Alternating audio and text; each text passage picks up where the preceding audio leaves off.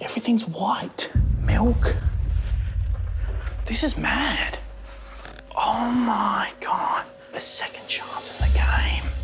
No, there's another bed though, and there are two buzzers. That means someone's joining me. The next person voted out. I think I could very well go mad in this place. Oh, that bed is quite comfortable. There's a shit ton of food here.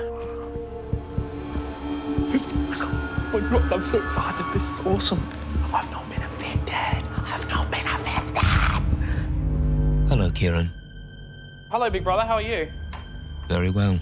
How are you? Good. Just vibing. Good man.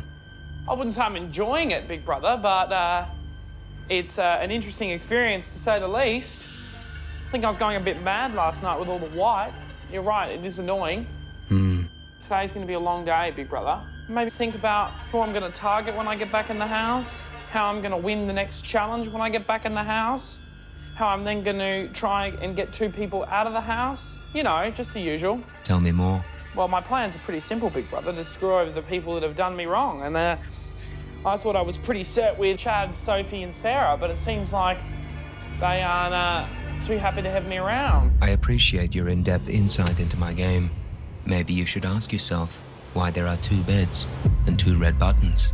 My thought processing behind it all is that probably within the next 24 to 36 hours, you're going to send another housemate in here, and we'll either both be going back in or one of us will be going back in. I hope it's Dan that comes in here or Matt, because then I can talk strategy with them and work on getting us back in the final three and getting Chad and Sophie out.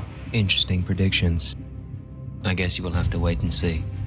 Okay, big brother, thanks for the update. Uh, loving the colour white.